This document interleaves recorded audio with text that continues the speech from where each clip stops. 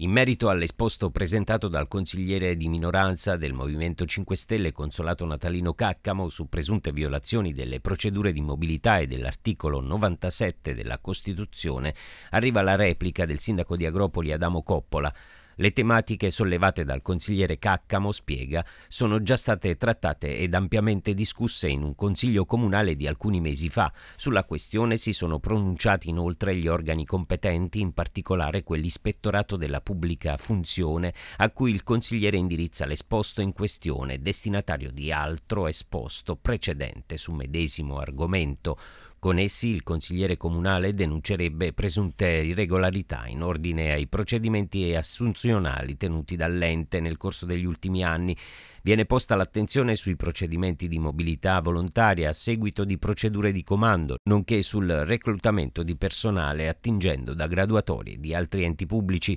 Relativamente al contenuto del primo esposto del consigliere comunale, l'ente ha avuto modo, per quanto concerne il primo punto, di acquisire la risposta dell'ispettorato della funzione pubblica che non ha proceduto ad alcuna contestazione. Altresì, in risposta alla nota di chiarimenti sul secondo punto oggetto dell'esposto, inviata da tale ispettorato e pervenuta all'ente, quest'ultimo ha inviato riscontro scritto con esso il comune di Agropoli ha dato puntuale riscontro a quanto segnalato dal consigliere. L'ispettorato contattato in seguito per le vie brevi ha evidenziato di essere soddisfatto della risposta pervenuta, non sollevando alcuna censura o contestazione. Il diritto di critica politica legittimamente esercitato dal consigliere comunale Caccamo, conclude il primo cittadino Adamo Coppola, su questo argomento ed altri ha da molto debordato in ambiti diversi unicamente sottesi in modo capzioso a fomentare inutili e pericolosi atteggiamenti di ostilità di parte della comunità, nonché esercitare pressioni di sorta,